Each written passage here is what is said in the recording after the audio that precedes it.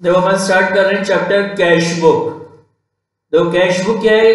It is a principal book of accounts अपन ने पढ़ा था कि देर आर जो आपकी फाइनेंशियल बुक है there are two types of financial book एक होती है आपकी प्रिंसिपल बुक और एक होती है सब्सिडरी बुक प्रिंसिपल बुक दो होती है, एक होती है आपकी कैश बुक और एक होता है लेजर तो सबसे इंपॉर्टेंट क्वेश्चन जो इसमें थ्योरी में आ सकता है, वो क्या है कि जो कैश बुक है it is a principal books book of account it is a principal book of account right आपकी जो फाइनेंशियल बुक है there are two types of financial book one is your principal second is your subsidiary तो ये जो it is a principal book of account ये आपकी principal book of account होती है।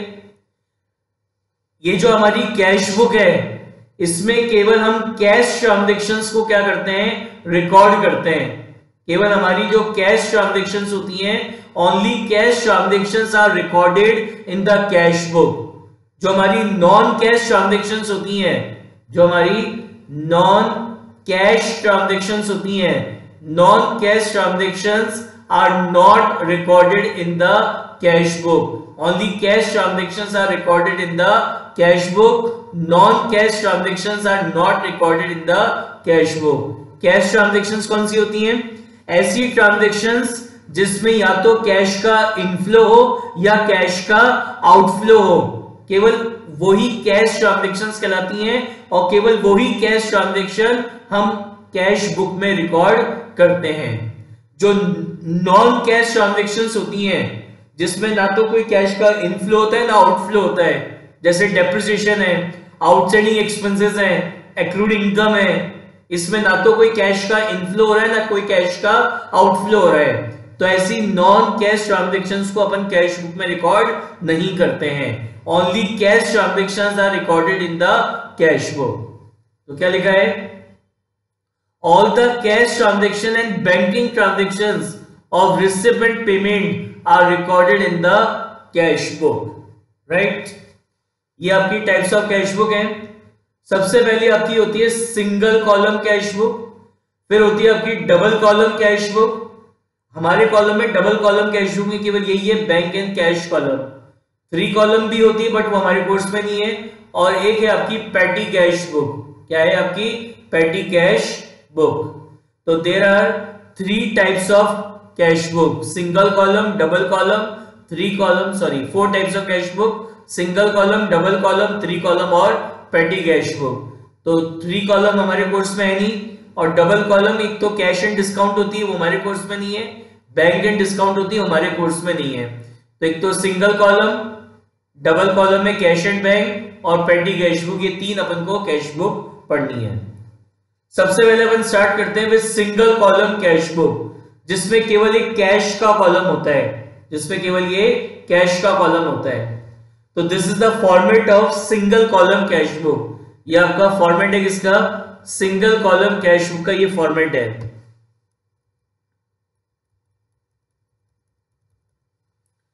दो साइड होती है आपकी।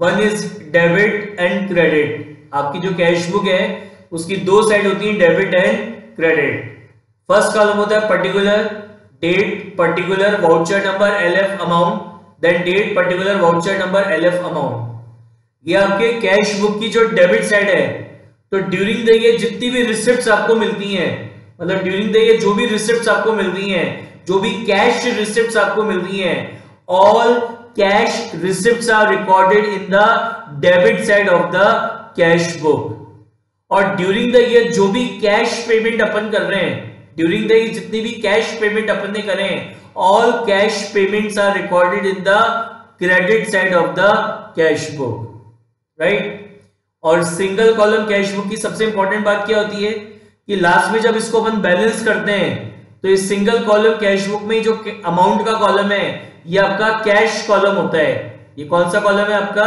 कैश कॉलम होता है। This is your cash column तो इस सिंगल कॉलम कैश बुक में हमेशा डेबिट साइड का टोटल ज़्यादा होगा और क्रेडिट साइड का टोटल हमेशा कम होगा। तो ये जो सिंगल कॉलम कैश बुक है, इसका हमेशा डेबिट बैलेंस होता है। इसका हमेशा कौन सा बैलेंस होगा? डेबिट बैलेंस होगा। कभी भी इसका क्रेडिट बैलेंस नहीं होगा। तो एक और इंपॉर्टेंट क्वेश्चन है थ्योरी के पॉइंट ऑफ़ व्यू से कि आपकी जो कैश बुक है कैश बुक का जो कैश कॉलम होता है, उस कैश कॉलम का हमेशा कौन सा बैलेंस होता है? डेबिट बैलेंस होता है। तो cash cash column of cash book is always having a debit balance right book निकालिए। Tick out tick out illustration number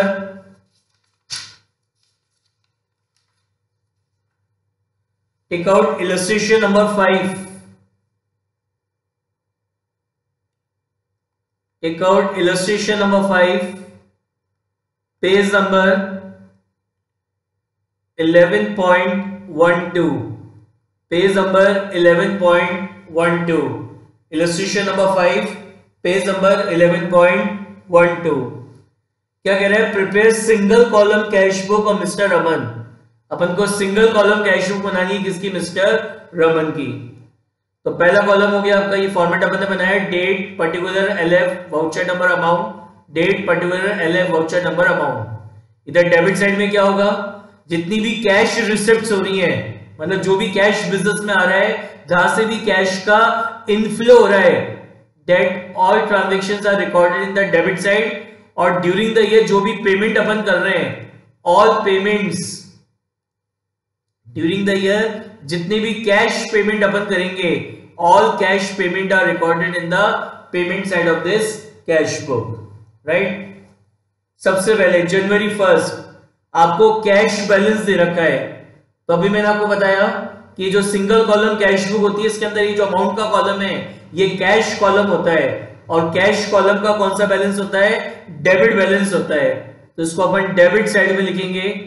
2014 first January to balance brought down जो भी कैश बैलेंस आपको given होगा, उसको अपन इसी तरीके से लिखेंगे। टू बैलेंस ब्रॉड डाउन कितना दे रखा है? 9500 कितना दे रखा है? 9500 third January. Sold goods to Ram for cash. Less two percent cash discount. तो अपन ने सेल करी राम को कितने की? अपन ने राम को सेल करी फोर थाउज़ेंड रुपीज़ की। लेकिन हमने उसको डिस्काउंट दिया कितना? टू परसेंट का डिस्काउंट दिया। तो फोर थाउज़ेंड का टू परसेंट। तो फोर थाउज़ेंड का टू परसेंट कितना होता है? एट्टी रुपीज़ यानी सेल करने से कितना कैश रिसीव हुआ? हमको जो कैश रिसीव हो रहा है, वो कितना कैश रिसीव हो रहा है? थ्री नाइन टू ज़ीरो का कैश हमें रिसीव हो रहा है सेल करने से। तो ये इससे हमारे बिज़नेस में कैश का इनफ्लो हो रहा है। तो रिसिप्ट साइड में लिखेंगे third January to sales account to sales account कितना कैश रिसीव हो रहा है? Three nine two zero three nine two zero उसके बाद है बॉट गुड्स मतलब अपन ने गुड्स परचेज करे. तो गुड्स परचेज करेंगे तो उसका अपन पेमेंट करेंगे. तो यहाँ लिखेंगे 2014 2014 fifth January by purchase by purchase account कितने गुड्स परचेज करे अपन ने? फोर थाउज़ेंड रुपीज़ के. फिर receive cash from Sunil and discount allowed अपन ने सुनील से कैश रिसीव करा। किससे कैश रिसीव कर रहे हैं? सुनील से। तो यहाँ लिखेंगे टू सुनील कितना कैश रिसीव हो रहा है सुनील से? सिक्स थाउज़ेंड सेवन हंड्रेड का कैश हमें सुनील से रिसीव हो रहा है। तो यहाँ लिखेंगे टू सुनील टू सुनील कितना कैश रिसीव हुआ है? सिक्स थाउज़ेंड सेवन हंड्रेड तो यहाँ लिखेंगे to Sunil to Sunil account कितना? सिक्स थाउज़ेंड सेवन हंड्रेड फिर है पेड टू राम स्टोर अपन ने राम स्टोर को पे करा फोर थाउज़ेंड एट हंड्रेड तो ये अपन पेमेंट कर रहे हैं।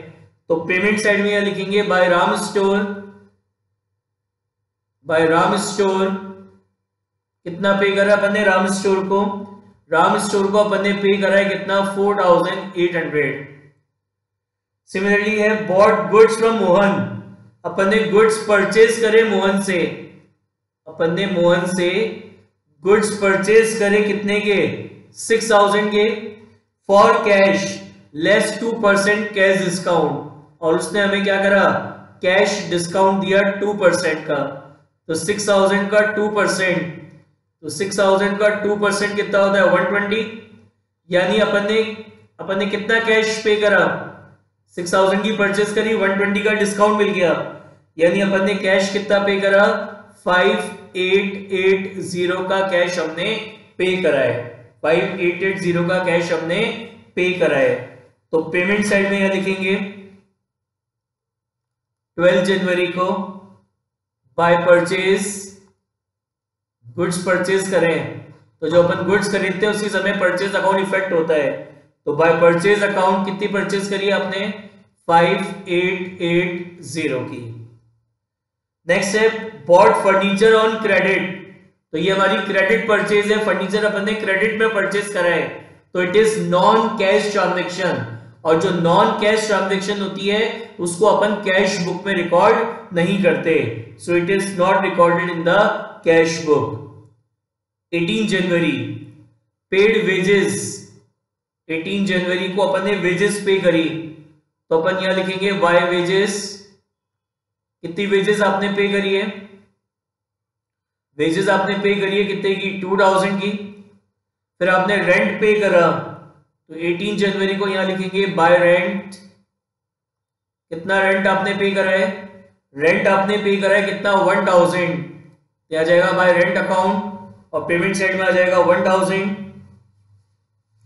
फिर है receive cash from Gopal after deducting two percent cash discount four thousand nine hundred अपन ने गोपाल से कितना कैश रिसीव करा है? फोर थाउज़ेंड नाइन हंड्रेड का कैश अपन ने रिसीव करा है, जो कि टू परसेंट डिस्काउंट लेस करने के बाद है। तो अपन को तो यहाँ पे वही लिखना है जो अपन ने रिसीव करा है। तो रिसिप्ट साइड में लिखेंगे ट्वेंटी फ़र्स्ट जनवरी कितना अमाउंट रिसीव करा? किससे रिसीव करा है? गोपाल से। तो यहाँ लिखेंगे टू गोपाल और कितना कैश रिसीव करा है? फोर थाउज़ेंड नाइन हंड्रेड का कैश अपन ने रिसीव करा है। फिर है ट्वेंटी फिफ्थ जनवरी को रिसीव इंटरेस्ट इंटरेस्ट रिसीव करा। तो यहाँ लिखेंगे अपन टू इंटरेस्ट कितना इंटरेस्ट आपने रिसीव करा है? 200 का। उसके बाद है कमीशन कमीशन रिसीव करा ट्वेंटी फिफ्थ जनवरी को। तो यहाँ लिखेंगे टू कमीशन कितना कमीशन आपने रिसीव करा है थ्री हंड्रेड रुपीज़ का कमीशन आपने रिसीव करा है। तो टू कमीशन हो गया कितना? थ्री हंड्रेड हो गई ट्रांजेक्शन अब देखो इसको क्लोज कैसे करते हैं। दोनों साइड का टोटल करेंगे पहले। यहाँ लिखेंगे टोटल रिसिप्ट यहाँ लिखेंगे अपन टोटल रिसिप्ट इसी तरीके से आमने सामने। तो टोटल रिसिप्ट कितना हो गया? Twenty five thousand twenty five thousand five twenty और यहाँ लिखेंगे अपन टोटल पेमेंट टोटल कितना पेमेंट किया? पेमेंट साइड का टोटल करेंगे अपन।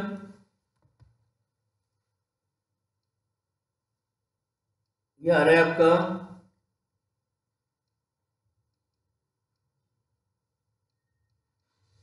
ये आ रहा है आपका सेवनटीन थाउज़ेंड सिक्स एट्टी तो क्या दिख रहा है आपको कि डेबिट साइड का टोटल ज़्यादा है क्रेडिट का कम है?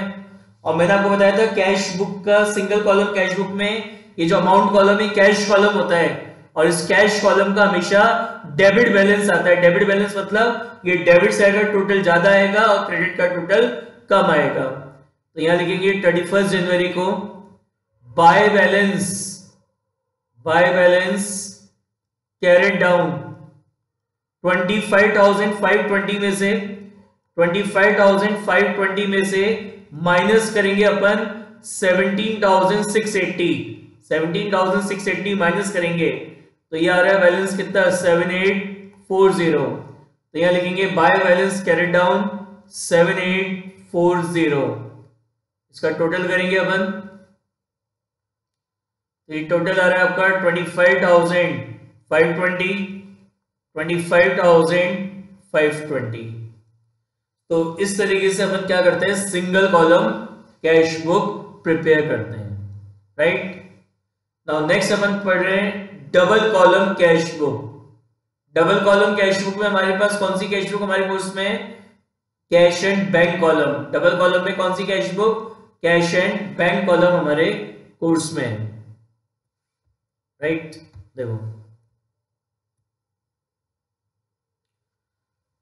अपन पढ़ रहे हैं, हम डबल कॉलम में bank and cash column cash book देखो। कैसे होता है फॉर्मेट आपकी डबल कॉलम कैश बुक का?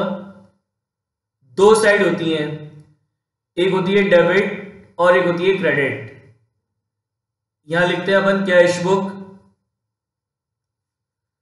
पहला कॉलम होता है date then particular voucher number L F cash and bank cash and bank तो यहाँ पे लिखते हैं particular particular voucher number L F cash और बैंक अब सुनना ध्यान से। हम पढ़ रहे डबल कॉलम कैश बुक या फिर यूँ बोलिए, अपन पढ़ रहे हैं cash and bank column cash book तो this is the format of cash and bank column cash book इसकी जो डेबिट साइड है, यहाँ पे अपन सारी रिसिप्ट लिखते हैं। ड्यूरिंग द ईयर जितना भी कैश रिसीव आपको होगा, और ड्यूरिंग द ईयर जितना भी चेक आपको रिसीव होंगे।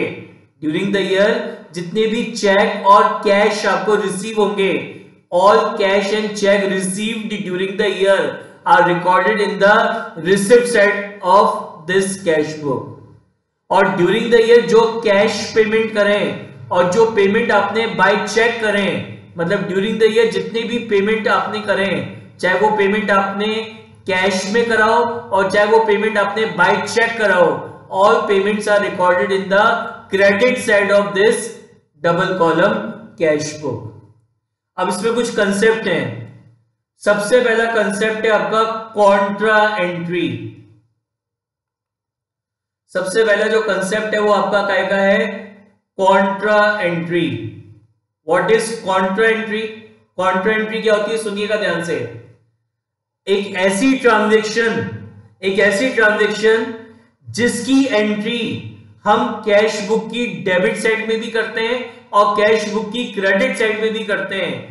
That entry is called contra entry क्या होती है contra entry transaction which is recorded in the debit side as well as credit side of the cash book is a contra entry इसके दो ही example हैं। ऐसी दो ही transaction होती हैं which were recorded in both debit and credit side of the cash flow कौन सी तो है? पहला है when cash deposit into bank कि जब अपन बैंक में कैश जमा कराएँगे, अपन एक एक और तरीके से बोल सकते हैं कॉन्ट्रा एंट्री क्या होती है? एक ऐसी एंट्री जिसमें आपका कैश अकाउंट भी इफ़ेक्ट होता है और आपका बैंक अकाउंट भी इफ़ेक्ट होता है, वो आपकी कॉन्ट्रा एंट्री कहलाती है। जैसे मैंने एग्जांपल बताया cash deposit into bank suppose करो, अपन टेन थाउज़ेंड रुपीज़ बैंक में डिपॉजिट करवा रहे हैं, क्या एंट्री पास होगी? Bank account debit bank account debit to cash account bank account debit to cash account ten thousand ten thousand तो bank account भी इफ़ेक्ट हो रहा है और कैश अकाउंट भी इफ़ेक्ट हो रहा है। बैंक और कैश अकाउंट दोनों इफ़ेक्ट हो रहे हैं। It means it is a contra entry ये आपकी कौन सी एंट्री है? कॉन्ट्रा एंट्री है। अब सुनना इसमें कैश बुक में कैसे इसको रिकॉर्ड करेंगे। दो तीन तरीके हैं, जो तरीका समझ में आ जाए, वो ठीक है। सबसे पहला तरीका। सबसे पहले क्या दे रखा है आपको? ये रिसिप्ट है। तो अपन क्या कर रहे हैं? बैंक में कैश डिपॉजिट करवा रहे हैं। अपन क्या कर रहे हैं? बैंक में कैश डिपॉजिट करवा रहे हैं। बैंक में कैश डिपॉजिट करवा रहे हैं। ये आपकी रिसिप्ट साइड है।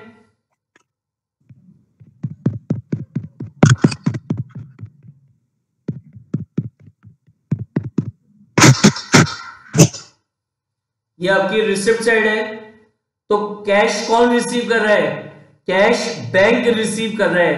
कैश कौन रिसीव कर रहा है? बैंक रिसीव कर रहा है। तो इधर बैंक के कॉलम में लिखेंगे टेन थाउज़ेंड और बैंक क्या रिसीव कर रहा है? कैश तो यहाँ पे आ जाएगा टू कैश अकाउंट ये पेमेंट साइड है। अपन पैसा किसको दे रहे हैं? अपन बैंक में पैसा जमा करवा रहे हैं नहीं? पेमेंट हो रहा है। किसको पेमेंट हो रहा है? बैंक को। अपन पैसा किसको दे रहे हैं? बैंक को दे रहे हैं। तो यहाँ लिखेंगे बाय बैंक अकाउंट और बैंक को आपने क्या दिया है? कैश दिया है। तो इधर कैश के कॉलम में आ जाएगा कितना? टेन थाउज़ेंड और ये कॉन्ट्रा एंट्री है तो उसके आगे लिख देंगे क्या? सी दोबारा समझ लो क्या किया। बैंक में हमने टेन थाउज़ेंड रुपीज़ डिपॉजिट करवाए। तो ये कैश बुक की रिसिप्ट साइड है। तो पैसा कौन रिसीव कर रहा है? पैसा बैंक रिसीव कर रहा है। बैंक में पैसे जमा करवा रहे हो। तो पैसा कौन रिसीव कर रहा है? बैंक पैसा रिसीव कर रहा है। तो इधर बैंक के कॉलम में लिखा टेन थाउज़ेंड और बैंक क्या रिसीव कर रहा है? कैश तो यहाँ यहाँ पे आपने लिख दिया टू कैश अकाउंट ये आपका पेमेंट साइड है. तो आप पेमेंट कर रहे हो पेमेंट आप किसको कर रहे हो? बैंक को कर रहे हो. तो आपने लिखा बाय बैंक अकाउंट और बैंक को आप क्या दे रहे हो? बैंक में आप क्या जमा करवा रहे हो? कैश तो इधर कैश के कॉलम में लिख दिया टेन थाउज़ेंड एक तो ये तरीका हो गया. दूसरा तरीका, ये बैंक में पैसा जमा करवाते एंट्री क्या होती है? Bank account debit to cash suppose थोड़ी आपका बैंक अकाउंट है this is your bank account तो बैंक अकाउंट को डेबिट कराए तो ये बैंक अकाउंट की डेबिट साइड है। बैंक अकाउंट को किससे डेबिट करे कैश से। तो यहाँ लिखा टू कैश अकाउंट और बैंक अकाउंट को डेबिट करें तो बैंक के कॉलम में आ गया कितना? टेन थाउज़ेंड दूसरा कौन सा अकाउंट इफ़ेक्ट हुआ? कैश अकाउंट अब अज्यूम करो ये आपका कैश अकाउंट है। तो कैश अकाउंट को आपने क्या करा है? क्रेडिट किया है। तो ये आपके कैश अकाउंट की क्रेडिट साइड है। तो कैश अकाउंट को क्रेडिट करा है किससे? बैंक से। तो यहाँ लिखा आपने बाय बैंक अकाउंट और किसको क्रेडिट करे कैश को। तो इसलिए कैश के कॉलम में आ गया कितना? टेन थाउज़ेंड तो इस तरीके से ही करते हैं। एक और एग्जांपल होता है कॉन्ट्रा एंट्री का। वो क्या है?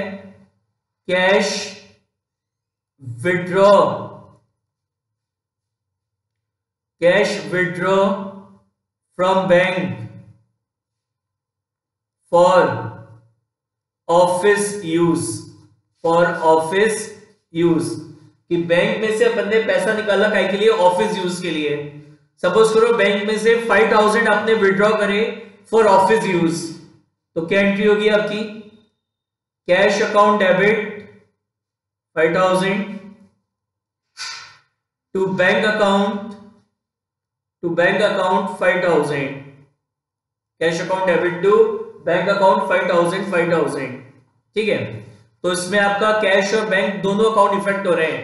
It means it is a contra entry अब समझना ध्यान से।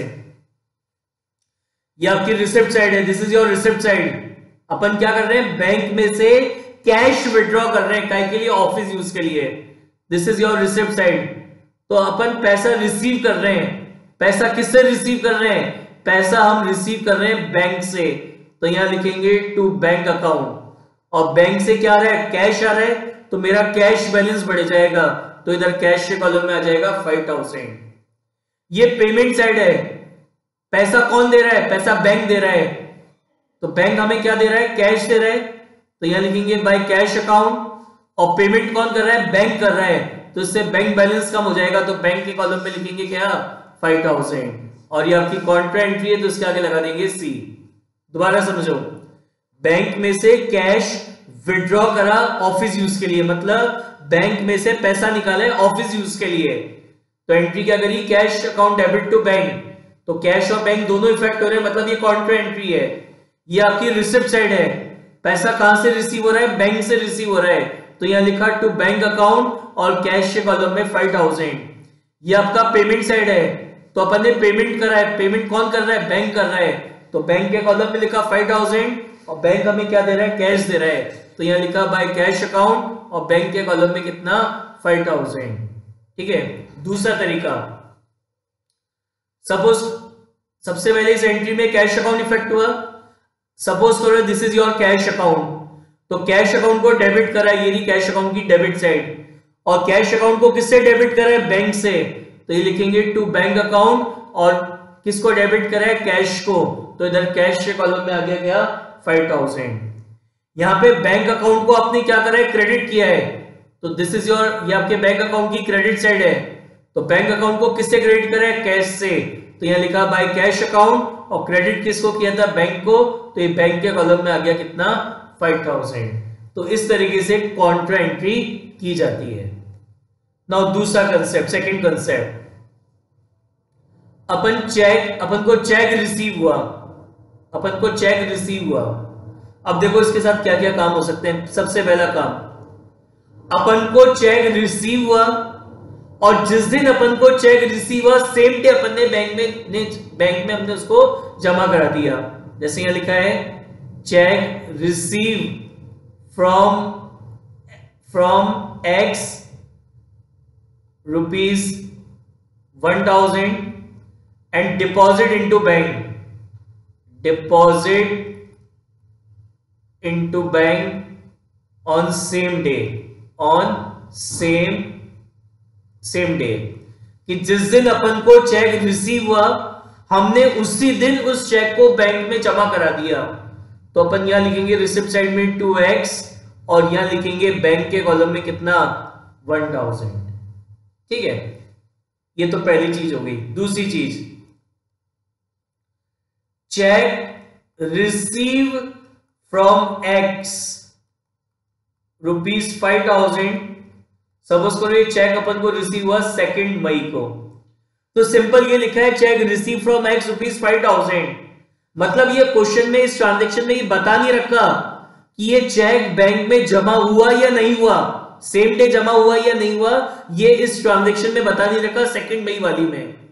फिर मैंने अपना क्वेश्चन आगे पढ़ा तो आगे जब क्वेश्चन पढ़ा तो फोर्थ मई में लिखा था cheque receive on second May deposit into bank deposit into bank मैंने जब अपना क्वेश्चन आगे पढ़ा तो चार मई को क्या लिखा हुआ था, कि दो मई को जो चेक मिला, उसको चार मई को जाके बैंक में जमा कराया। तो सेकेंड मई को ये चेक रिसीव तो हो गया था। सेकेंड मई को एक्स से चेक रिसीव तो हो गया, लेकिन हमने उसको बैंक में डिपॉजिट नहीं करवाया। तो सेकेंड मई को कैश बुक में एंट्री नहीं होगी। तो इसकी एंट्री सेकंड मई को अपन कहाँ पे करेंगे? जर्नल प्रॉपर में करेंगे। क्या एंट्री करेंगे? जर्नल प्रॉपर में cheque in hand account debit to X फिर फोर्थ मई को ये चेक हम बैंक में जमा करवा रहे हैं। तो फोर्थ मई को यहाँ पे एंट्री करेंगे फोर्थ मई को। यहाँ पे आप लिखोगे to cheque in hand to cheque in hand और बैंक के कॉलम में लिखोगे आप कितना? फाइव थाउज़ेंड समझ में आई बात? सेकंड काम समझ में आया कि हमें चेक रिसीव हुआ बट जिस दिन चेक रिसीव हुआ, हमने उस दिन उसको बैंक में डिपॉजिट नहीं करवाया। तो उस दिन तो क्या करेंगे? जर्नल प्रॉपर में एंट्री पास कर देंगे cheque in hand account debit to X फिर बाद में फोर्थ मई को हमने ये चेक बैंक में जमा कराया तो फोर्थ मई को अपन यहाँ पे एंट्री करेंगे cheque in hand account debit कितना? फाइव थाउज़ेंड राइट तीसरी चीज़। चेक रिसीव हुआ एक्स से सपोज़ करो सिक्स थाउज़ेंड रुपीज़ का। कब रिसीव हुआ? थर्ड मई को। ठीक है? बता नहीं रखा कि सेम डे जमा हुआ ही नहीं हुआ। मैंने क्वेश्चन आगे पढ़ा। तो सिक्स मई को क्या लिखा हुआ था? Cheque receive from X endorsed endorse to Y मतलब थर्ड मई को अपन ने एक्स से चेक रिसीव करा सिक्स थाउज़ेंड रुपीज़ का। तो थर्ड मई को बता नहीं रखा ट्रांजेक्शन में कि ये चेक सेम डे जमा हो रहा है या नहीं हो रहा। फिर मैंने क्वेश्चन को आगे बढ़ा तो आगे सिक्स मई को क्या लिखा था? कि एक्स से जो चेक रिसीव हुआ है एक्स से जो चेक रिसीव हुआ है, वो हमने वाई को एंड्रोस कर दिया, हमने वो चेक वाई को दे दिया। तो ना तो थर्ड मई की एंट्री इस कैश बुक में होगी, ना छह मई की एंट्री इस कैश बुक में होगी। थर्ड मई की एंट्री अपन जर्नल प्रॉपर में करेंगे क्या? Cheque in hand account debit to X और फिर छह मई की एंट्री भी जर्नल प्रॉपर में होगी क्या?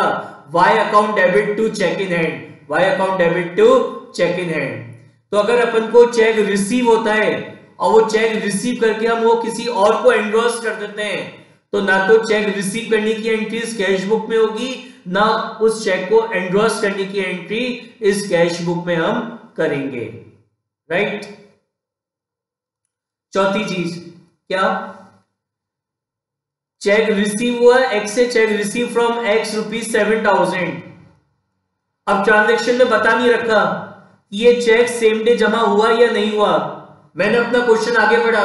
आगे भी इस क्वेश्चन में कोई इंफॉर्मेशन नहीं दी अबाउट दिस ट्रांजेक्शन इस ट्रांजेक्शन की आगे भी कोई इंफॉर्मेशन अवेलेबल नहीं थी। तो मैं ये मानूँगा कि ये चेक जिस दिन मेरे को मिला मैंने उसी दिन वो चेक क्या करा? बैंक में जमा करा दिया। तो यहाँ लिखिए टू एक्स बैंक के कॉलम में कितना? सेवन थाउज़ेंड तो जब चेक रिसीव होता है तो ये सब सिचुएशन आपके सामने आ सकती है। तो उसका इस तरीके से अपन को एडजस्टमेंट करना है एंट्री करनी है रिकॉर्ड करना है। राइट अब अपन पेमेंट की बात करते हैं। जब तक क्वेश्चन में क्लियरली मेंशन नहीं हो, जब तक क्वेश्चन में ट्रांजेक्शन में क्लियरली मेंशन नहीं है कि पेमेंट चेक से हुआ है, तब तक आप उसको पेमेंट चेक से नहीं मानेंगे। साइलेंस के केस में अपन उसका पेमेंट कैसे मानेंगे? कैश में। जैसे सपोज़ करो यहाँ लिखा है paid rent paid rent rupees ten thousand बता नहीं रखा ये पेमेंट चेक से हुआ है या कैश में हुआ है। तो साइलेंस के केस में आप क्या मानेंगे? ये पेमेंट आपने कैश में करा है। तो आप इसको कैश के कॉलम में लिखेंगे बाय रेंट कितना? टेन थाउज़ेंड अगर इस तरीके से लिखा है paid salary paid salary of rupees three thousand by cheque अब यहाँ पे क्लियरली मेंशन हो गया कि थ्री थाउज़ेंड रुपीज़ की सैलरी का पेमेंट कैसे हुआ है? बाय चेक हुआ है। तो आप यहाँ लिखेंगे बाय सैलरी बाय सैलरी और पेमेंट कैसे लिखेंगे? बैंक के कॉलम में लिखेंगे कितना? थ्री थाउज़ेंड ठीक है? तो जब तक क्वेश्चन में क्लियर नहीं होगा, आप पेमेंट को क्या मानेंगे? साइलेंस केस में क्या मानेंगे? कि payment is done done in cash और जब क्वेश्चन में क्लियरली मेंशन हो कि पेमेंट कैसे हुआ है बाय चेक हुआ है, तभी आप मानेंगे कि पेमेंट कैसे करा है, अपन ने चेक से किया है। क्लियर है? लास्ट आखिरी इंपॉर्टेंट चीज़, आखिरी कंसेप्ट इस कैश बुक का ये जो कैश कॉलम है, इस कैश बुक का ये जो कैश कॉलम है, आपकी डबल कॉलम कैश बुक में जो आपका कैश कॉलम है, इस कैश कॉलम का हमेशा डेबिट बैलेंस आएगा. डेबिट बैलेंस का मतलब आएगा डेबिट बैलेंस आएगा मतलब कि हमेशा डेबिट आएगा टोटल ज़्यादा होगा और क्रेडिट आएगा टोटल हमेशा कम होगा. और अगर आपका उल्टा हो रहा है तो मतलब आपने कुछ गलती करी, इसलिए उल्टा हो रहा है। तो आपकी जो cash cash column cash book का कैश ये जो कैश कॉलम है, इसका हमेशा कौन सा बैलेंस होगा? डेबिट बैलेंस होगा। और ये जो आपका बैंक कॉलम है, ये जो आपका बैंक कॉलम है, आपकी कैश बुक का जो बैंक कॉलम है, इसका डेबिट और क्रेडिट कोई सा भी बैलेंस हो सकता है। क्यों? क्योंकि बैंक अपन को एक फैसिलिटी प्रोवाइड करवाता है that is bank overdraft facility जिसके अंदर क्या होता है कि जितना कैश आपने बैंक में डिपॉजिट करवाया है, उससे ज़्यादा आप क्या कर सकते हो पेमेंट कर सकते हो। तो वो आपकी कहलाती है बैंक ओवरड्राफ्ट फैसिलिटी इस कारण से ये जो आपकी कैश बुक होती है, ये जो बैंक कॉलम होता है कैश बुक का, इसका डेबिट और क्रेडिट कोई सा भी बैलेंस हो सकता है। समझ में आई बात? देखो। अगर यस एक चीज़ और कि जैसे आपने चेक रिसीव करा एक्स से, और ये चेक अगर डिसऑनर्ड हो जाता है तो अपन रिवर्स एंट्री पास कर देंगे बाय एक्स बैंक के कॉलम में वन थाउज़ेंड क्यों करते हैं रिवर्स एंट्री जैसे आप, आपने चेक रिसीव हुआ तो आपने तो एंट्री कर दी टू एक्स बैंक के कॉलम में वन थाउज़ेंड तो आपने तो यहाँ बैलेंस बढ़ा लिया, लेकिन ये चेक डिसऑनर्ड हो गया तो आप डिसऑर्डर हो गया मतलब आपको ये पैसा नहीं मिला। तो अब आपकी आप इसकी क्या करेंगे? रिवर्स एंट्री पास करेंगे बाय एक्स और बैंक के कॉलम में। Right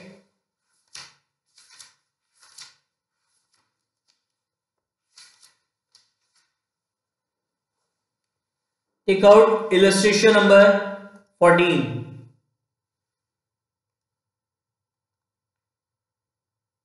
take out illustration number 14 page number page number 11.36 page number 11.36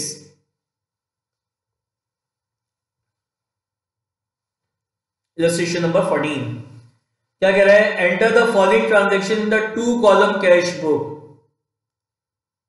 दो साइड होती हैं debit credit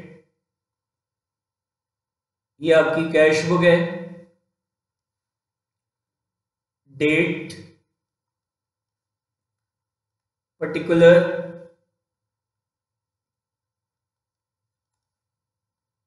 voucher number L F bank cash date particular voucher number L F bank और cash यहाँ पे क्या आएगा? ड्यूरिंग द ईयर जितनी भी रिसिप्ट होंगी, उनको अपन यहाँ रिकॉर्ड करेंगे. और ड्यूरिंग द ईयर जितने भी पेमेंट आप करेंगे, उन सबको अपन क्रेडिट साइड में रिकॉर्ड करेंगे. राइट पढ़ो स्टार्टिंग से.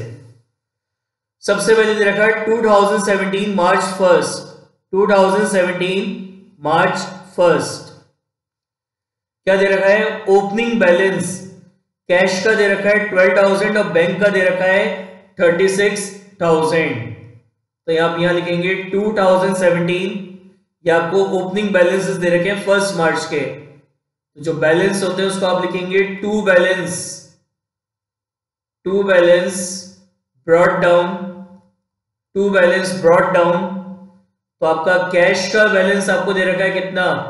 ट्वेल्व थाउज़ेंड और बैंक बैलेंस आपको दे रखा है कितना? थर्टी सिक्स थाउज़ेंड फिर है कैश और cheque for rupees fifteen thousand क्या मतलब होता है? सुनना ध्यान से, लिख लो इसको. कैश अ चेक क्या मतलब होता है इसका? इसका मतलब होता है cash withdraw from bank cash withdraw from bank for office use, for office use. क्या लिखा है? Cash a cheque. कैश और चेक का मतलब क्या होता है? कि हमने कैश विड्रॉ करा बैंक से काय के लिए? ऑफ़िस यूज़ के लिए। कितना? फिफ्टीन थाउज़ेंड तो बैंक में से पैसा निकालो, ऑफ़िस यूज़ के लिए फिफ्टीन थाउज़ेंड क्या एंट्री होगी cash account debit to bank account, cash account debit to bank account, कितना कैश निकाला? Fifteen thousand fifteen thousand cash और बैंक दोनों अकाउंट इफ़ेक्ट हो रहे हैं। It means it is a contra entry it is a contra entry this is your receipt side तो अपन पैसा रिसीव कर रहे हैं। पैसा कहाँ से रिसीव कर रहे हैं? बैंक से।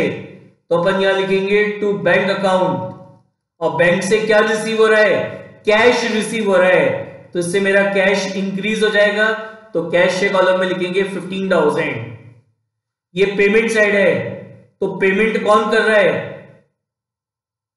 पेमेंट बैंक हमें क्या दे रहा है?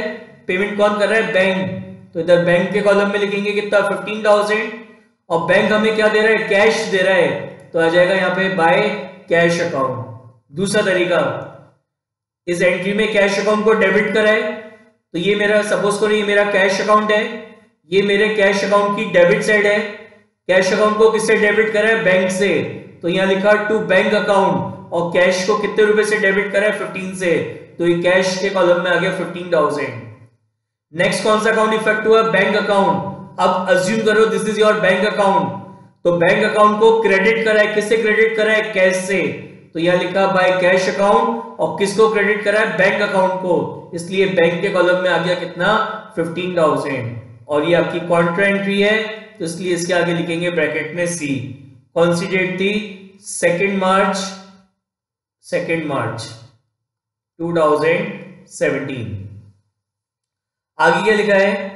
Paid salary for the month of February in cash 12,500 अपन ने सैलरी पे करी सैलरी अपन ने पे करी काय में कैश में सैलरी पे करी कैश में तो यहाँ लिखेंगे बाय सैलरी बाय सैलरी और सैलरी अपन कैसे पे कर कैश में तो इधर कैश के कॉलम में लिखेंगे twelve thousand 500.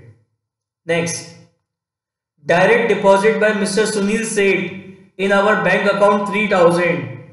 हमारे कोई कस्टमर थे सुनील सेठ उन्होंने सीधे हमारे अकाउंट में जमा करा दिया। तो यह लिखेंगे टू सुनील सेठ टू सुनील सेठ कहा जमा करा रहे हमारे बैंक अकाउंट में, हमारे बैंक में जमा करा दिया। तो इससे हमारा बैंक बैलेंस इंक्रीज हो जाएगा कितने से? थ्री थाउज़ेंड से।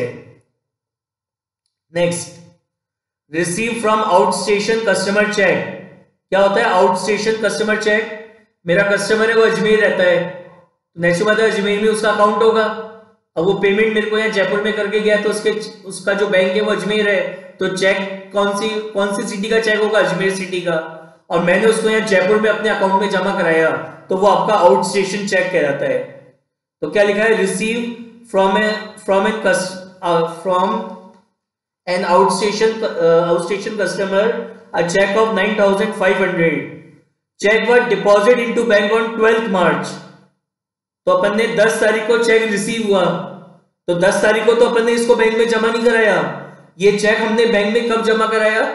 ट्वेल्थ मार्च को जमा कराया। तो 10 तारीख को तो उसकी एंट्री अपन कहा करेंगे? जर्नल प्रॉपर में। Cheque in hand account debit to customer 9500 9500 अब ट्वेल्थ मार्च को हम इसे बैंक में जमा करा रहे हैं। तो ट्वेल्थ मार्च को अपन यहाँ पे एंट्री लिखेंगे। To cheque in hand to cheque in hand और बैंक के कॉलम में लिखेंगे कितना? नाइन थाउज़ेंड फाइव हंड्रेड फिर आगे क्या लिखा है? The bank has debited twenty for collection charges bank ने बैंक चार्जेस चार्ज कर लिए कितने के? ट्वेंटी रुपीज़ के. तो इधर पेमेंट साइड में लिखेंगे ट्वेल्थ मार्च को. By bank charges by bank charges और बैंक के कॉलम में लिखेंगे कितना? Twenty next Gobind settled his account of 6000 by a check of 5900. Check was deposited into bank on 15th March. तो 11 तारीख को अपन को गोविंद से चेक मिला 5900 का, लेकिन हमने इसको 11th को तो डिपॉजिट नहीं करवाया। हमने चेक बैंक में कब जमा कराया 15 मार्च को। तो 11th मार्च को एंट्री अपन क्या करेंगे? जर्नल प्रॉपर में। क्या एंट्री पास करेंगे? Cheque in hand account debit 5900 discount allowed account debit hundred to Gobind six thousand अब फिफ्टीन मार्च को ये चेक बैंक में जमा हो रहा है। तो फिफ्टीन मार्च को अपन यहाँ पे एंट्री करेंगे क्या? To cheque in hand to cheque in hand और बैंक के कॉलम में कितना? कितने का चेक रिसीव हुआ था? 5,900 तो बैंक के कॉलम में लिखेंगे 5,900 right 16 settle Ravi account of eight thousand two 8200 Ravi का अकाउंट था? कितना? 8200 का। कह रहे रवि का अकाउंट सेटल करा after deducting 200 as a discount पहले तो उससे 200 का डिस्काउंट ले लिया। तो कितने हो गए? 8000 बचे। बाय गिविंग अब 8000 में से क्या कह रहा है? By giving a cheque of 6000 हमने उससे सिक्स थाउज़ेंड का तो क्या करा? चेक दे दिया सिक्स थाउज़ेंड का तो चेक दे दिया। And balance in cash balance कितना बचा? टू थाउज़ेंड रुपीज़ बैलेंस बचा। तो ये टू थाउज़ेंड रुपीज़ अपन ने उसको क्या करा? कैश पे कर दिया। समझ में आया? हमें रवि को एट थाउज़ेंड टू हंड्रेड का पेमेंट करना था। तो उसका सेटलमेंट अपन ने कैसे करा? उससे टू हंड्रेड का तो डिस्काउंट रिसीव कर लिया। कितना बचा रिमेनिंग एट थाउज़ेंड अब 8000 में से 6000 का तो अपन ने उसको चेक दे दिया चेक से पे कर दिया और रिमेनिंग जो बचा 2000 वो हमने उसको क्या करा? कैश पे कर दिया। कौन सी डेट है? डेट है आपकी 16 मार्च। तो 16 मार्च को अपन यहाँ लिखेंगे by Ravi by Ravi account bank से पेमेंट किया है कितना? 6000 और कैश पेमेंट किया आपने कितना? 2000 right next seventeen withdrew from bank bank से विड्रू करा फिफ्टीन थाउज़ेंड तो बैंक से पैसा निकाला पंद्रह हज़ार रुपए क्या एंट्री होगी। Cash account debit to bank cash account debit to bank कितना विड्रॉ करा है? फिफ्टीन थाउज़ेंड फिफ्टीन थाउज़ेंड अपन ने बैंक से विड्रॉ करा। तो यहाँ पे आपका कैश अकाउंट भी इफ़ेक्ट हो रहा है बैंक अकाउंट भी इफ़ेक्ट हो रहा है। तो कैश और बैंक दोनों इफ़ेक्ट हो रहे हैं। It means it is a contra entry कैसे होगी entry this is your receipt side पैसा आप रिसीव कर रहे हो। पैसा किससे रिसीव कर रहे हो? बैंक से। तो आप यहाँ लिखेंगे टू बैंक अकाउंट और क्या आ रहा है? कैश आ रहा है। तो इससे आपका कैश बैलेंस बढ़ जाएगा। तो कैश के कॉलम में लिखेंगे फिफ्टीन थाउज़ेंड ये आपका पेमेंट साइड है। पेमेंट कौन कर रहा है? पैसा कौन दे रहा है? बैंक दे रहा है। तो बैंक के कॉलम में लिखेंगे कितना? फिफ्टीन थाउज़ेंड और बैंक हमें क्या दे रहा है? कैश दे रहा है। तो यहाँ लिखेंगे बाय कैश अकाउंट दूसरा तरीका। इस एंट्री में कैश अकाउंट आपने डेबिट किया है। सपोज़ करो this is your cash account तो कैश अकाउंट को आपने डेबिट करा है किससे? बैंक से। तो आपने यहाँ लिखा टू बैंक अकाउंट और किसको डेबिट किया था? कैश को। तो कैश के कॉलम में आ गया फिफ्टीन थाउज़ेंड फिर यहाँ आपने यहाँ पे बैंक अकाउंट को क्रेडिट किया। तो सपोज़ करो this is your bank account तो बैंक अकाउंट को आपने क्रेडिट कराया किससे? कैश से। तो यहाँ लिखा बाय कैश अकाउंट और क्रेडिट किसको कराए बैंक को। तो इधर बैंक कॉलम में आ गया कितना? फिफ्टीन थाउज़ेंड अब ये आपकी कॉन्ट्रा एंट्री है। तो इसलिए इसके आगे ब्रैकेट में लिखेंगे सी कौन सी डेट को हुई थी एंट्री ये एंट्री हुई थी 17 मार्च को। 17 मार्च 17 मार्च अब आगे बढ़ो। Withdrew from bank 15,000 and office equipment typewriter was purchase for 12,000 and balance was taken by the owner तो ये जो 15,000 अपन ने बैंक से निकाले इसमें से 12,000 का तो अपन ने टाइपराइटर परचेज कर लिया। जो बाकी बचा बैलेंस 3,000 वो प्रोपराइटर अपने पर्सनल यूज़ में ले गया। तो यहाँ लिखेंगे 17 मार्च को पहले by office equipment by office equipment cash में खरीदा है कितना? 12,000 तो 15 में से 12,000 का हो तो ऑफ़िस इक्विपमेंट खरीद लिया। बाकी जो बचा 3,000 वो प्रोपराइटर अपने पर्सनल यूज़ में ले लिया। मतलब क्या हो गई आपकी? ड्राइंग हो गई। तो यहाँ लिखेंगे बाय ड्राइंग अकाउंट कितना? थ्री थाउज़ेंड ठीक है? Next eighteen sold goods to Sanjay on credit non cash transaction so it will not recorded in the cash book Sanjay return goods worth rupees eight hundred five sorry five hundred and settle his account by cheque Sanjay ने क्या करा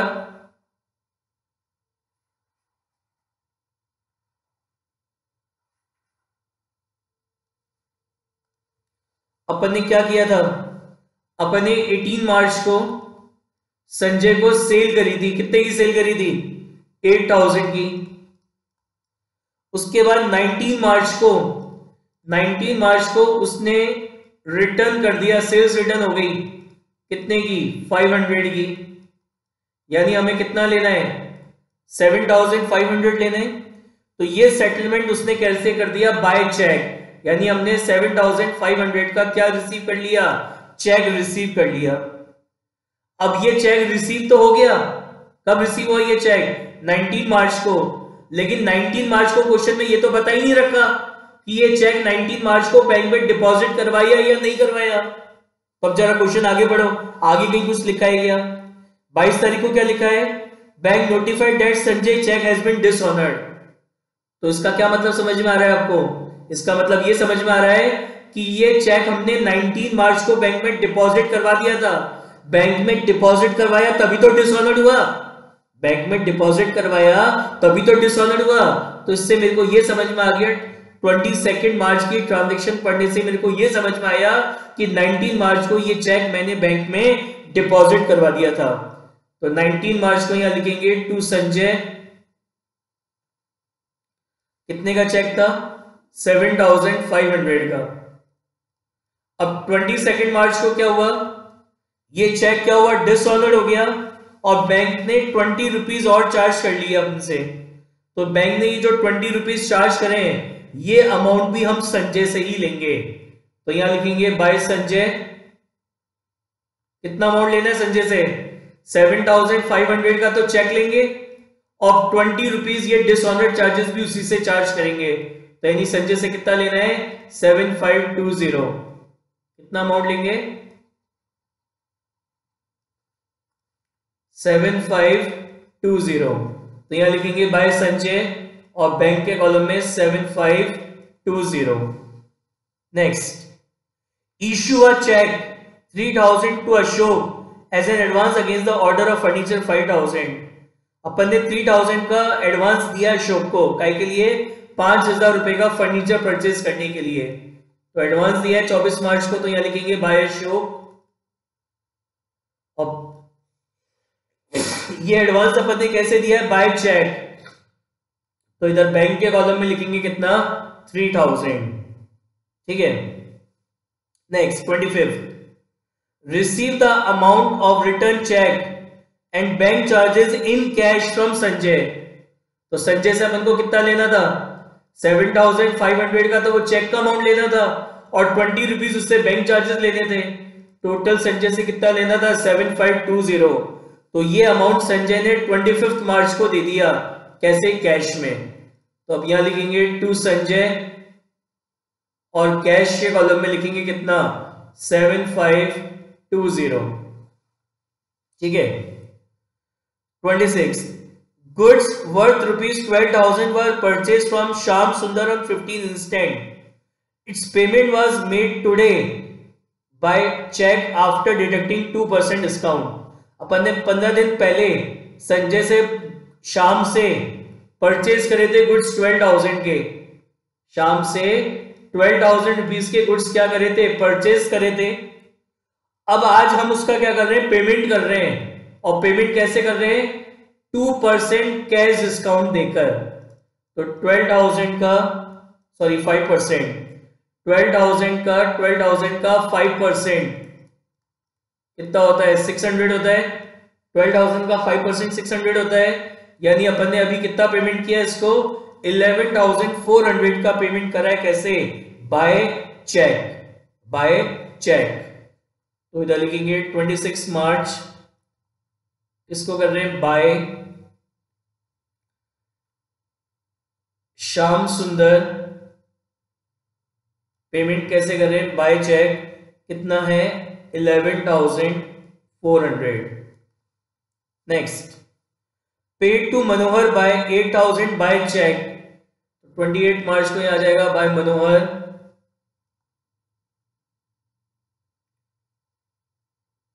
by मनोहर और payment कैसे कर रहे हैं? By cheque तो bank के कॉलम में लिखेंगे कितना?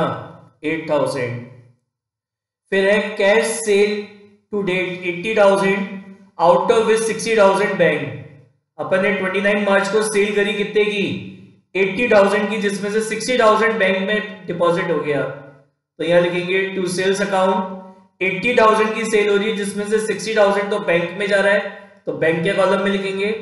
बाकी ट्वेंटी थाउज़ेंड हमारे पास कैश आ रहा है तो कैश के कॉलम में लिखेंगे। Bank collect interest on security bank ने हमारे ब्याह पे हमारा इंटरेस्ट कलेक्ट करा सिक्योरिटी पे। तो यहाँ पे अपन लिखेंगे टू इंटरेस्ट बैंक ने इंटरेस्ट कलेक्ट करा सिक्योरिटी पे कितना? 300 तो इधर बैंक के कॉलम में लिखेंगे कितना? 300 फिर थर्टी को क्या लिखा है? Deposited into bank bank cash retaining ten thousand इसका मतलब क्या है?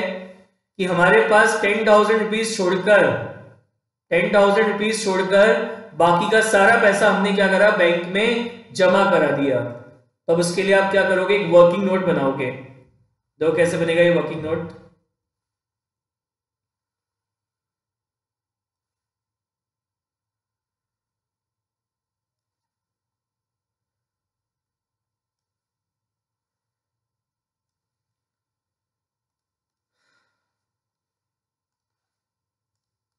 सबसे पहले आप यहाँ लिखोगे टोटल कैश रिसिप्ट्स टोटल कितनी कैश रिसिप्ट हुई हैं? तो जो कैश कॉलम है ना, इसका टोटल करते हैं कैश कॉलम का। क्या क्या है? देखते जाओ। सबसे पहले क्या है? Twelve thousand plus fifteen thousand plus again fifteen thousand plus seven five two zero plus twenty thousand तो यार है sixty nine thousand five twenty कितना रहा sixty nine thousand five twenty फिर इसमें से लेस करेंगे। टोटल कैश पेमेंट जो पेमेंट अपन ने काय में करा है? कैश में करा है। लेस करेंगे। टोटल कैश पेमेंट टोटल करो। एक तो ये twelve thousand five hundred plus two thousand plus twelve thousand plus three thousand तो ये आ रहा है टोटल कैश पेमेंट आ रहा है twenty nine thousand five hundred तो यानी आपके पास कितना कैश बैलेंस हो गया? कितना कैश बैलेंस हो गया? 69,500 तो आया और 29,500 हमने खर्च कर दिया। तो हमारे पास कितना अवेलेबल कैश बैलेंस है? हमारे पास अवेलेबल अवेलेबल कैश बैलेंस है फोर्टी थाउज़ेंड यहाँ क्वेश्चन में क्या कह रहा था? कि टेन थाउज़ेंड रुपीज़ को छोड़कर बाकी का सारा अमाउंट हमें बैंक में डिपॉजिट करवा है तो लेस करेंगे इसमें से क्या? Cash balance retain cash balance retain कितना कैश बैलेंस आपको रखना है अपने पास? टेन थाउज़ेंड रुपीज़ का कैश बैलेंस आपको अपने पास रखना है। और बाकी का सारा पैसा जो भी बचा, कितना बचा बाकी? Thirty thousand. तो ये कैश आपको बैंक में डिपॉजिट कराना है। तो cash deposit into bank cash deposit into bank तो कितना कैश अपन को बैंक में जमा कराना है? थर्टी थाउज़ेंड रुपीज़ का कैश हमें बैंक में क्या करना है? डिपॉजिट करवाना है।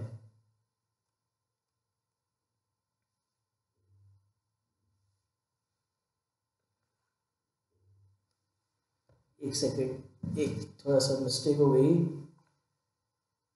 ये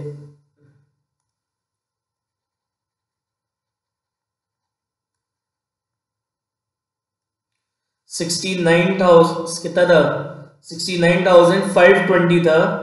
उसमें से माइनस करेंगे twenty nine thousand five hundred तो ये आ रहा है फोर्टी थाउज़ेंड ट्वेंटी आ रहा है। इसमें से टेन थाउज़ेंड आपको रखना है। यानी बैंक में कितना डिपॉजिट होगा? Thirty thousand twenty rupees thirty thousand twenty rupees अपन क्या करेंगे? बैंक में डिपॉजिट कराएँगे। समझ में आई लास्ट कह रहा था deposit into bank cash retaining retaining ten thousand इसका मतलब ये था कि जो भी कैश बैलेंस आपके पास अवेलेबल है, उसमें से टेन थाउज़ेंड रुपीज़ को छोड़कर बाकी का सारा पैसा आपको बैंक में जमा कराना है। तो सबसे पहले अपन ने टोटल करा टोटल कैश रिसिप्ट तो ये कैश साइड का टोटल करा। कितना आया sixty nine thousand five hundred फिर अपन ने करा क्या? टोटल कैश पेमेंट तो ये पेमेंट साइड का टोटल आया कितना? ट्वेंटी नाइन फाइव हंड्रेड तो इतना तो कैश रिसीव हुआ, इतना पेमेंट कर दिया। यानी अवेलेबल कैश बैलेंस कितना है? फोर्टी थाउज़ेंड ट्वेंटी इसमें से टेन थाउज़ेंड हमें अपने पास रखना है। यानी थर्टी थाउज़ेंड ट्वेंटी क्या होगा? बैंक में डिपॉजिट हो जाएगा। क्या होगा? बैंक में डिपॉजिट हो जाएगा। तो बैंक में डिपॉजिट कराने की एंट्री क्या होगी? Bank account debit to cash account. Bank account debit to cash account कितना? Thirty thousand twenty, thirty thousand twenty. तो कैश और बैंक दोनों इफ़ेक्ट हो रहे हैं। It means it is a contra entry ये रिसिप्ट साइड है। कौन रिसीव कर रहा है अमाउंट हम पैसा बैंक में जमा करवा रहे हैं तो पैसा कौन रिसीव कर रहा है? बैंक। तो इधर लिखेंगे टू बैंक अकाउंट और बैंक क्या रिसीव कर रहा है? कैश इधर कैश के कॉलम में आएगा थर्टी थाउज़ेंड ट्वेंटी ये पेमेंट साइड है। तो अपन ने पेमेंट किया है। क्या दिया अपन ने? कैश दिया है। और कैश किसको दिया है? बैंक को दिया है। तो बैंक के कॉलम में लिखेंगे थर्टी थाउज़ेंड ट्वेंटी दूसरा तरीका। दूसरा तरीका। क्या? सबसे पहले कौन सा अकाउंट इफ़ेक्ट हो रहा है? बैंक अकाउंट ठीक है ना? बैंक अकाउंट इफ़ेक्ट हो रहा है। सपोज़ करो this is your bank account तो बैंक अकाउंट को आपने डेबिट किया है।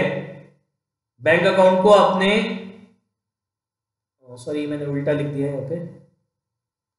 एक सेकेंड ये उल्टा लिख दिया। ऊपर उसको बैंक पढ़ लिया। एक मिनट, दोबारा देखो एक बार।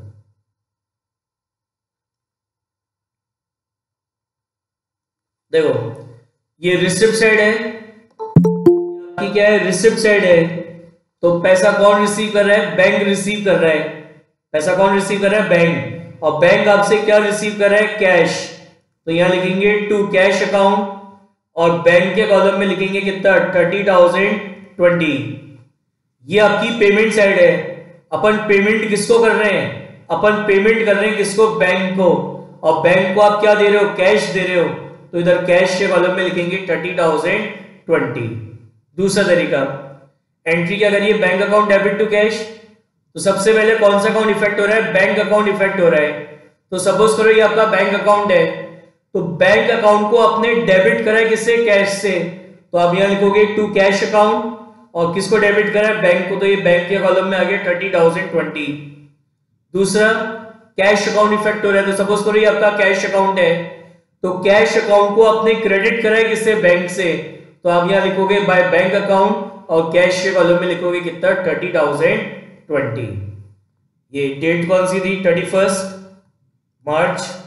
ये आपकी कॉन्ट्रा एंट्री है जिसके आगे लिखेंगे सी थर्टी फ़र्स्ट मार्च सी अब तो अब इसको बैलेंस करेंगे कैसे?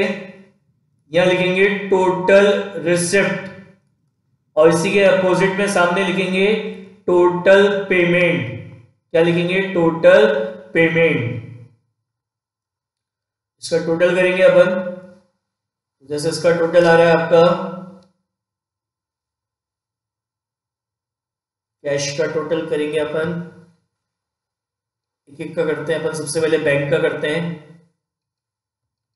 Thirty six thousand plus three thousand plus nine thousand five hundred plus five thousand nine hundred plus seven thousand five hundred plus sixty thousand sixty thousand plus three hundred plus thirty thousand twenty.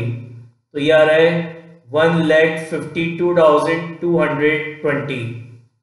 ऐसी cash का total करेंगे, कितना आ रहा है? Twelve thousand plus fifteen thousand plus fifteen thousand plus seven five two zero plus twenty thousand तो ये आ रहा है आपका sixty nine thousand five twenty sixty nine thousand five twenty ऐसे बैंक का टोटल करेंगे पेमेंट का तो fifteen thousand plus twenty plus six thousand plus fifteen thousand plus seven five two zero plus three thousand plus eleven thousand four hundred plus eight thousand.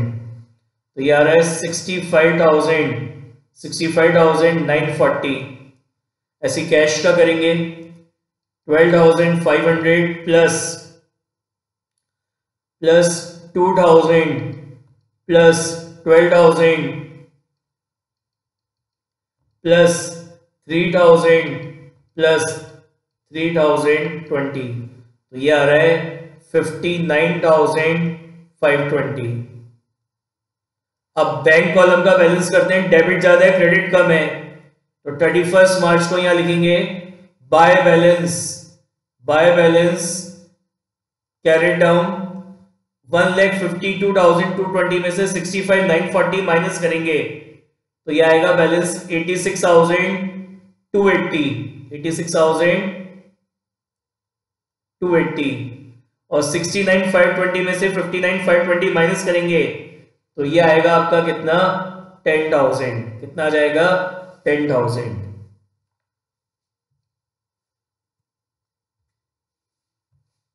ठीक है? इसका total करेंगे।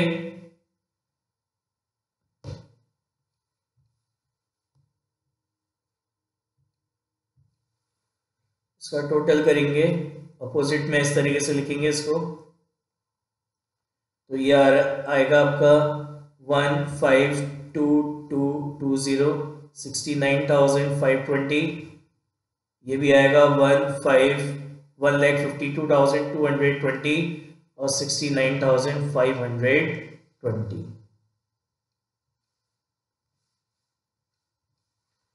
समझ में आई बात?